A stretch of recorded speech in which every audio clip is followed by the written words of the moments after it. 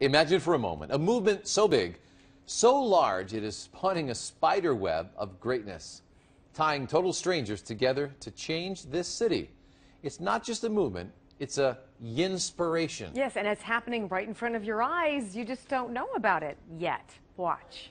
If beauty, brains, and big ideas can grow a grassroots business, well, then you'd better meet Kate, That's been a lot of fun. Emily, We're co-pilots. And Carrie. I do a lot of marketing. Whoa. Three women so totally intertwined because of this Yinzpiration. with each interview kind of comes a new following because their friends are interested in, in the blog.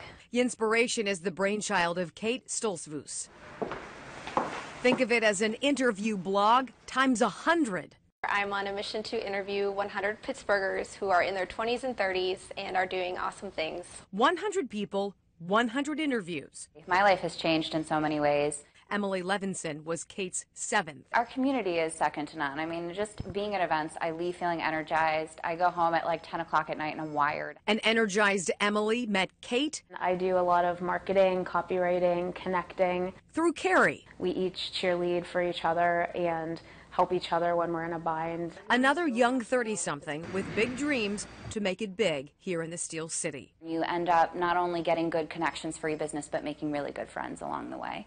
And through Emily, Kate, and Carrie Everyone's helping each other. Collaboration happens here so fluidly. came Nina, another dreamer, another doer connected to Kate through her blog. Through Yinzpiration, she, she's been able to connect and also highlight amazing people that you would never have heard their stories before through this great online platform. And that great online platform All of it, just the, the doors that have opened and the, the way that we've been embraced in Pittsburgh and with the entrepreneurial community has been really exciting. is making a difference and opening doors, one Yinzer at a time.